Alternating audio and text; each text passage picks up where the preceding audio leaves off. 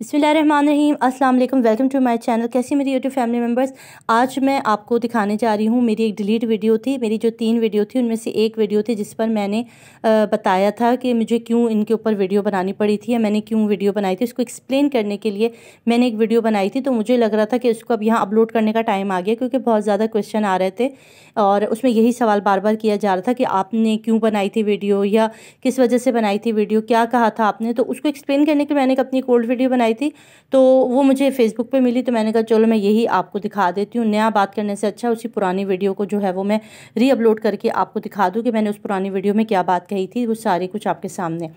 Recently एक खातून है, जिन्होंने अपने आप को जो है देगची का चमचा कहा तो वो जो देगची हैं और चमचा है, उन वो भी आप देख लें कि सिर्फ़ हम थंबनेल पर इनकी पिक्चर लगाकर या हमें व्यूज़ हासिल करने के लिए हम सिर्फ़ इनके कंटेंट के लिए ये नहीं लगाते आप लोग क्या करें? इन्होंने जो किया जो देखिए का जो चमचा था उन्होंने पहले मेरे खिलाफ वीडियो बनाई और उसके बाद अब ज़ाहिर बात है दाद भी देनी थी उनको शाबाशी भी देनी थी और उनको एक शॉर्ट आउट भी देना था इस वजह से।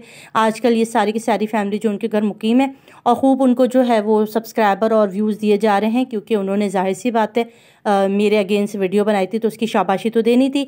तो अगर आप लोग भी यही काम करते हैं और उसके बाद फिर तनकीद करते हैं दूसरों पर। तो आप देखिए जी मेरी ओल्ड वीडियो जो मैंने डिलीट कर दी थी तो इसमें मैंने आपको सारा कुछ शुरू से आखिर तक एक्सप्लेन किया है। तो जो लोग भी मुझसे पूछ रहे थे कि बताएँ और क्या और कुछ, और मुझे जो देखियो चमचे वाली वीडियो का भी ना किसी ने बताया था, मैंने देखी नहीं थी। सिर्फ़ मैंने यही थंबनेल पर देखा और मैंने कहा कि मुझे बताना चाहिए उन देखची वाली खातून को, चमचे वाली खातून को कि भाई ये देख लीजिए वीडियो। तू कुजा मन कुजा आ तू कुजा मन कुजा। बसमीम अल्लाम वेलकम टू माय चैनल कैसे हैं मेरी यूट्यूब फैमिली मेंबर्स आज हम बात करने लगे हैं कुकिंग विद शबाना और उनके बच्चों के बहुत सारे चैनल और उसके ऊपर बनाई गई मेरी वीडियो और उसके ऊपर आने वाले कमेंट्स के ऊपर। तो ये तमाम वीडियो शुरू करने से पहले आपको बता दूँ कि आज मैंने जो स्टार्टिंग में नूर बुखारी की या नात की वीडियो डाली, उसका रीज़न क्या है? उसका रीज़न ये है कि जब ये अभी मेरे सामने से गुजरी नूर की ये वीडियो तो मैंने सोचा, अच्छे खासे व्यूज़ होंगे। नूर एक सेलिब्रिटी जिनकी एक वीडियो आती, वो इतनी वायरल हो जाती थी कि मिलियन मिलियंस व्यूज़ आया करते थे कमेंट आया करते थे तो कितने व्यूज़ हैं? देखा तो आप यकीन कीजिए, मैं हैरान हो गई कि नूर की इस वीडियो पे सिर्फ़ 3.1 के, यानी कि सिर्फ़ तीन हज़ार व्यूज़ थे। जी हाँ एक हफ़्ते पुरानी ये वीडियो है और उसके ऊपर सिर्फ़ तीन हज़ार व्यूज़ हैं।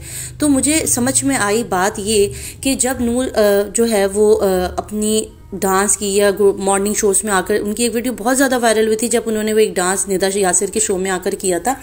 तो उस पर तो जी, हमारे जितने भी क्रिटिसाइज़ करने वाले लोग हैं, जितने भी हमारे माशरे के सुधारने वाले लोग हैं। उन्होंने इतने कमेंट किए थे कि ये किस किस्म की चीज़ें दिखाई जा रही हैं? नूर किस किस्म के कपड़े पहनती हैं? इस्लामी माशरे में क्या हो रहा है, क्या नहीं हो रहा? तो नूर वही करती थी बेचारी जो लोग देखना चाहते थे, जिस पे लोगों को देखना था। अब नूर ने ये सब चीज़ें छोड़ दी। नूर को अपनी चार शादियों का भी बहुत ज़्यादा जो है क्रिटिसाइज़ किया गया। अच्छा अभी पॉइंट पर अगर बात आए तो वो सब छोड़कर नूर ने जो है वो जो है वो हिजाब अपनाया, उन्होंने जो है वो खैर बात कहा, फ़िल्म इंडस्ट्री, ड्रामा इंडस्ट्री को उन्होंने छोड़ दिया और वो अब बना रही हैं नाते। तो अब इस पर भी तो आपको व्यूज़ देने चाहिए, उस पर भी आपको मिलियन मिलियन व्यूज़ देने चाहिए। मगर हो क्या रहा है, अब उसकी वीडियो को कोई देखने वाला नहीं है। बहुत कम लोग देखने वाले, बहुत चंद कमेंट आपको मिलेंगे उनकी वीडियो पर। तो भाई, बात यह है कि जो लोग अच्छा कंटेंट दे रहे थे या इस तरह का इस्लामी कंटेंट अब मुझे देख लीजिए, मैं आपको ये जो विजुअल दिखा रही हूँ, ये जो सड़कें और टूटे फूटे जो लाइट है, ये सब दिखा रही हूँ। इसका रीज़न क्या है कि मैं कैमरे के आगे नहीं आना चाहती।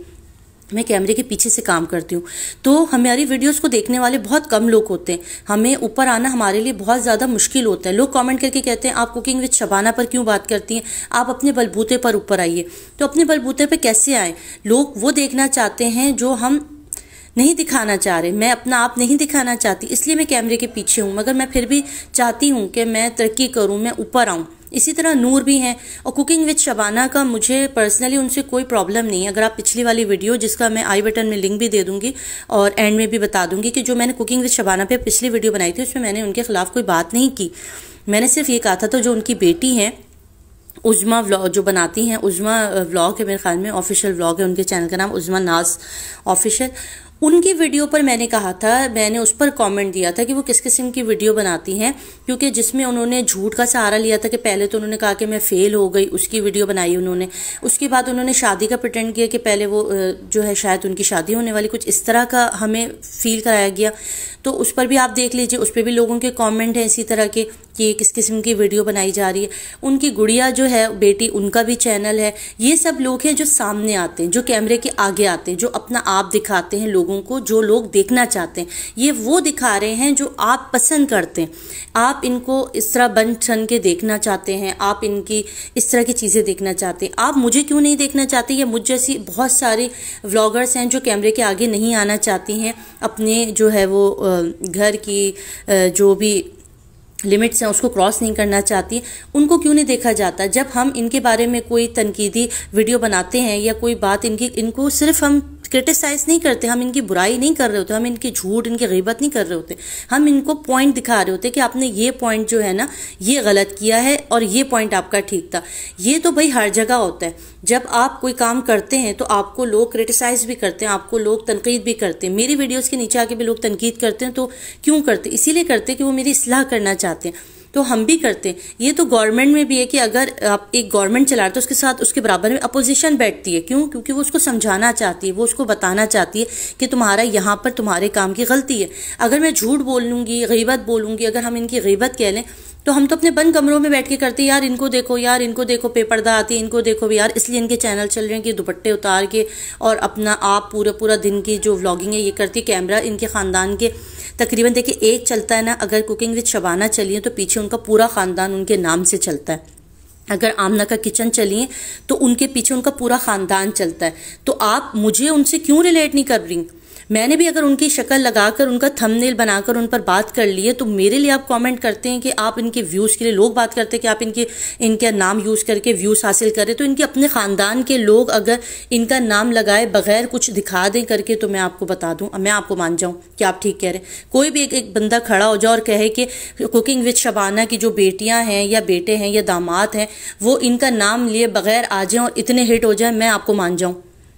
या कैमरे के पीछे रह के अपने बाप, भाई, माँ और इन सब की इज्जतों का पास रखते हुए आप कैमरे के आगे काम नहीं करना चाह रहे मैं बुराई नहीं कर रही कि कैमरे के आगे आगे करना काम बुरा है, मगर लोग देखना चाहते हैं। हम जैसों को जो कैमरे के पीछे हमें नहीं देखना चाहते शायद। अगर हम इनके ऊपर छोटी सी बात कर देते हैं, जो हम देखते हैं, हम इनको पसंद करते हैं, अगर हम इनको एक छोटी सी वीडियो बना के कह देते कि भाई ये वीडियो हमें समझ नहीं आई तो उसके ऊपर आप इतने कोई बुरे कमेंट्स आने शुरू हो जाते हैं कि हम इनका नाम लेकर ऊपर आना चाहते हैं। हमारे अपने पास कोई कॉन्टेंट नहीं है, जिसके बलबूते पर हम ऊपर आए। तो इनके घर वाले क्या कर रहे हैं? इनके खानदान वाले क्या कर रहे हैं? आप उनके ऊपर जाके, उनके चैनल्स पर जाके क्यों नहीं कॉमेंट करते? वहाँ जाकर भी तो आप इनको क्रिटिसाइज कर सकते हैं कि भाई हाँ आप भी तो इन्हीं का नाम लेकर चल रहे हैं। बस ये फ़र्क था जो मैं आपको समझाना चाह रही थी। शायद होपफुली कि आप में से बहुत सारे लोगों को ये बात मेरी समझ आई होगी। जिनको समझ आ गई कमेंट में बता दें। जिनको समझ में नहीं आया वो भी कमेंट में बता दें। और बस यहीं तक थी वीडियो अगर कोई बात बुरी लगी है तो मैं अभी से आपसे माजरत चाहती हूँ। मेरी किसी से कोई पर्सनल दुश्मनी नहीं है। ना तो किसी और व्लॉगर से, ना किसी भी चैनल वाले से।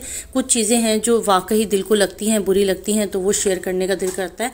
इसी तरह मैंने आपसे कमेंट करना मत भूलिएगा। कमेंट में ज़रूर बताइएगा कि आगे आप कौन से यूट्यूबर हैं या कौन से व्लॉगर्स हैं जिनके ऊपर बात सुनना चाहते हैं, जिस पर आप रिव्यू करना चाहते हैं, इससे काफ़ी ज़्यादा हेल्प हो जाती है कि आपको कौन सा कंटेंट अच्छा लग रहा है और किस पे आप बात करना चाहते हैं।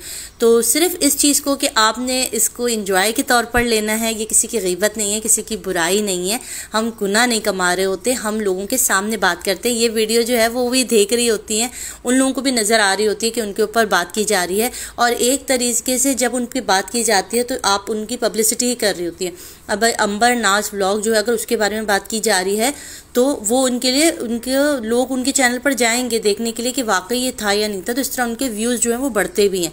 तो आप ये मत सोचा करें कि क्रिटिसाइज सिर्फ़ एक तरफा होता है, नहीं, ये दो तरफा होता है, यानी कि इससे उनको फ़ायदा भी होता है। तो इस इस